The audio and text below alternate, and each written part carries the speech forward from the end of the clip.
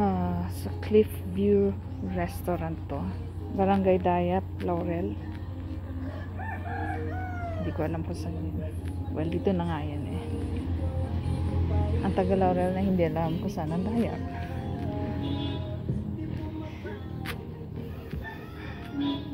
Entrance ito dyan lang sa may highway.